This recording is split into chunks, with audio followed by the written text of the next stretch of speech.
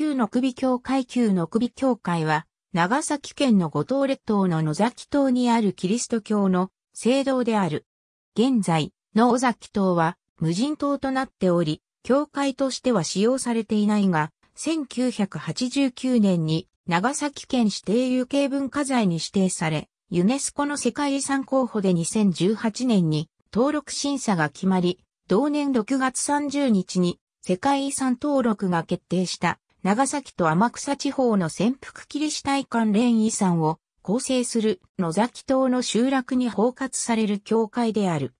内部の様子の首集落跡の中の旧の首教会1800年前後の完成の時代に大村藩領のキリシタンが五島藩の依頼により五島列島へ移住していった中で、平戸藩領だった野崎島の野首地区に移住したに家族7人がおり、この地の信仰の始まりとなったと言われている。明治時代になっても政府が徳川幕府の禁教令を踏襲したため、野崎島の信者たちは1868年に島根県沖島沖の竹島を目指すが失敗する。翌年には平戸に連行され弾圧を受けるが、平戸監獄服役中に信仰の自由が認められて野崎島へ戻っている。それまでにも木造教会を使用していたが、野首地区に住む17世帯の信者たちが費用を工面し、1907年に本格的な教会建築に乗り出し、翌1908年に野首教会が完成する。その年の10月25日に剣道式が行われた。設計、施行に当たったのは、後藤をはじめ長崎県やその周辺で多くの教会建築を手掛けた鉄川洋介で、野首教会は彼が初めて手掛けたレンガ作りの聖堂だった。野崎島の島民は最盛期には約650人であったが、高度経済成長期になると島民が減少し、1971年に残っていた野首地区のカトリック信徒6世帯31人が島を去り、教会は無人となった。その後、教会は荒れ果てていたが、1989年に長崎県指定有形文化財に指定され、小鹿課長によって修復された。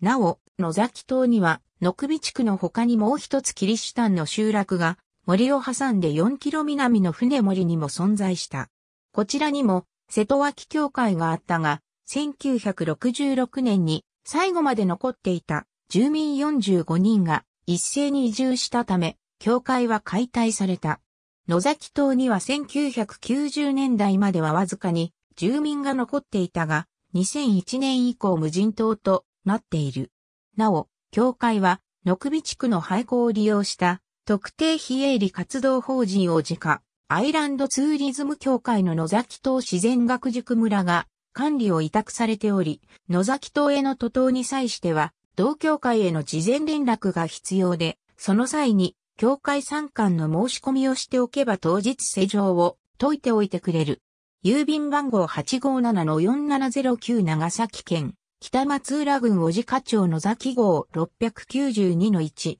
AB 長崎県の文化財9、野首教会長崎県学芸文化課、長崎、天草の潜伏キリシタンが世界文化遺産に決定22件目。産経新聞。Https コロンスラッシュスラッシュ www.sankei.com スラッシュライフスラッシュニューススラッシュ